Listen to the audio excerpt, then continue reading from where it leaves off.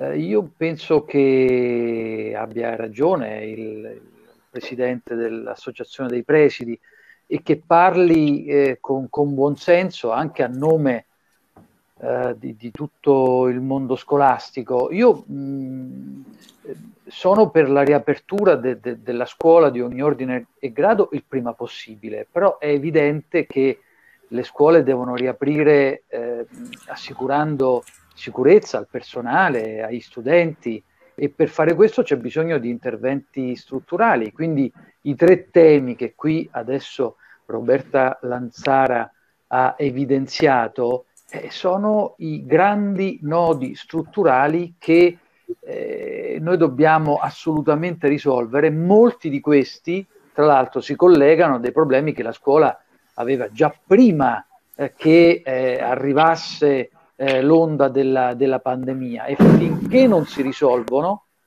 noi non risponderemo al tema di fondo che la pandemia eh, ha, ha, evidenziato, cioè come fare in modo che la scuola italiana torni ad essere con maggiore forza una scuola dell'inclusione e a rispondere a quelli che sono innanzitutto i bisogni degli studenti, perché poi sulla base di questo ci sono i bisogni del sistema paese, la crescita del paese, quale posto nel mondo l'Italia vuole occupare. Tutto dipende dall'istruzione. E quindi è chiaro che il tema dei trasporti certamente è un tema che eh, va assolutamente risolto. Il tema del rapporto tra le scuole e il tracciamento sanitario, il tema dei presidi sanitari interni alle scuole, il tema del, del, della priorità eh, appunto dei, dei, tamponi, il rapporto con le ASL. E poi c'è un tema, questo per quello che riguarda la dinamica eh, interna de, del Ministero e quindi proprio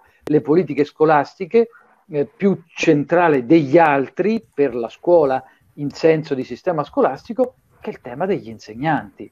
Eh, insomma, ehm, il fatto che manchino, eh, manchino insegnanti, laddove eh, non ci sono insegnanti di ruolo, ci sono supplenti, è chiaro che la situazione è più grave che altrove. Quindi io qualche giorno fa dicevo, eh, finché noi non eh, eh, affrontiamo seriamente il problema del precariato scolastico e quindi il tema degli insegnanti, è chiaro che noi ci troveremo sempre ad essere impreparati a qualunque emergenza.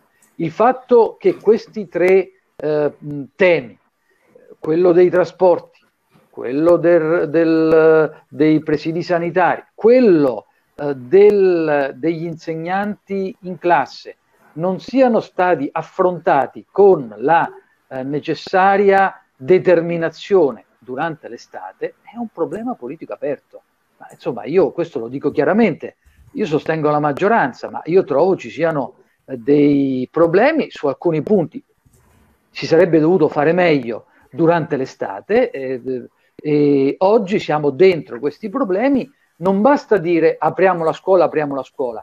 Per aprire la scuola bisogna risolvere questi problemi. Quindi è chiaro che io sostengo assolutamente la battaglia per riaprire la scuola, ma io sono per riaprire la scuola avendo risolto i problemi, perché altrimenti eh, tor- tor- sarà un'apertura eh, finta con problemi ancora aperti che porterà ad una nuova chiusura, cosa che non possiamo assolutamente permetterci. Una volta che la scuola riapre dovrà rimanere aperta fino, a, fino alla fine dell'anno o magari come qualcuno come qualcuno anche suggerisce, rafforzando quelli che sono i tempi di apprendimento, il tempo prolungato, in modo che i ragazzi recuperino quanto perso in, in questi mesi troppo lunghi e troppo difficili. La cosa che noi dobbiamo fare è non continuare con interventi emergenziali, ma fare in modo di avere il prima possibile degli interventi che siano strutturali e che quindi prefigurano una riforma per la scuola. Il termine riforma è abusato e appena si cita il termine riforma ci si spaventa. Ma la questione per me è questa. Prima ancora che arrivasse il Covid funzionava tutto a scuola.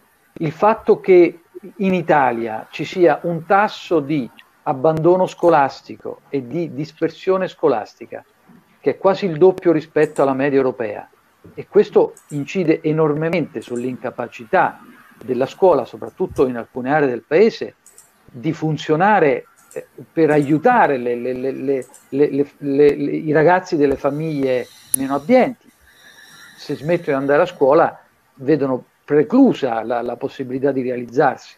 Non parliamo neanche de, della possibilità di andare, di andare, all'università, perché poi tutto, tutto è collegato. E quindi il tema dell'inclusione è il tema principale.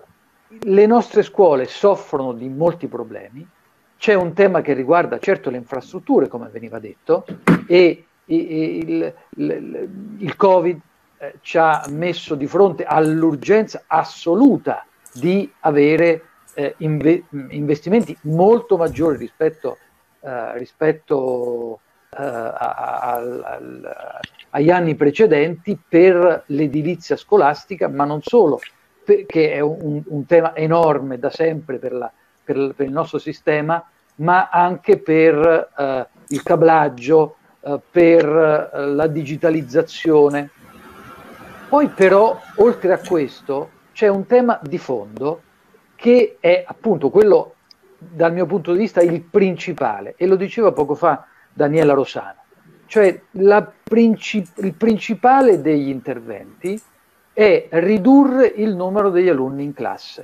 Questo porta ad una innovazione nella didattica, porta ad una eh, eh, maggiore attenzione a quelli che sono i bisogni degli studenti, quindi ad una maggiore inclusione. Ridurre il numero degli alunni in classe significa avere più insegnanti, avere più insegnanti significa, secondo me, finalmente tornare a ragionare su una scuola che non sia un sistema che produce un precariato che è insostenibile.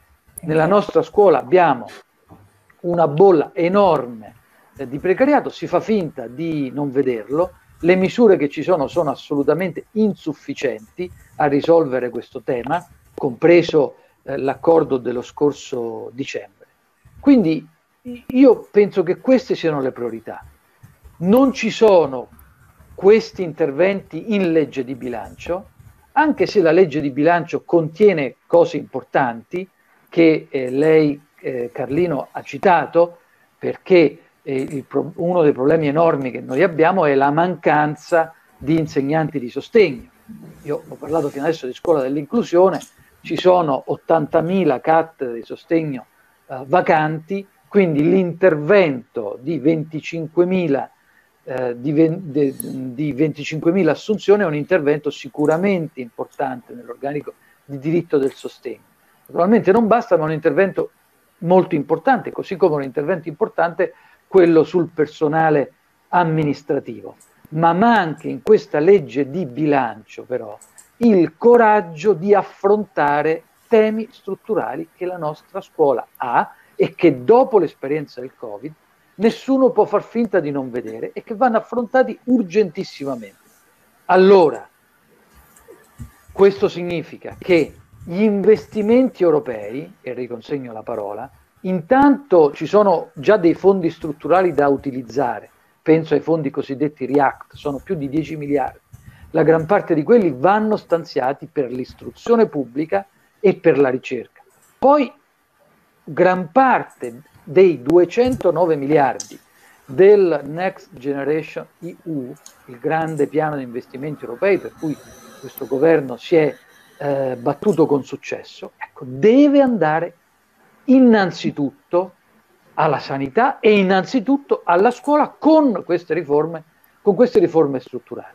Appunto ehm, aumentare le classi con, riducendo il numero degli alunni, aumentare il numero degli insegnanti, contrastare il precariato nella scuola che è nemico della qualità dell'insegnamento, è, è nemico dei bisogni dei, degli studenti, lo stiamo sperimentando in queste, in queste settimane. Quindi, tornando alla sua domanda, ci sono certamente elementi positivi, manca però una visione manca una progettualità, che è quello che io contesto a, a, a, alla conduzione attuale del, de, dell'istruzione. Manca, un, manca, una visione forte che in, questa, in questo momento di pandemia è essenziale, perché con strumenti tampone noi non riusciremo a vincere questa battaglia e non basta naturalmente fare pro- proclami senza affrontare però i nodi strutturali.